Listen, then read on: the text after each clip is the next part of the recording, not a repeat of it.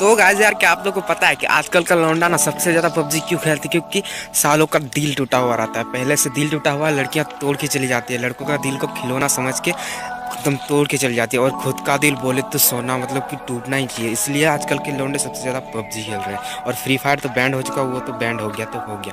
अब पबजी तो कभी बैंड होने वाला है। आ, देखो फिर से कॉल आ गया। रुको अब कौन है ये?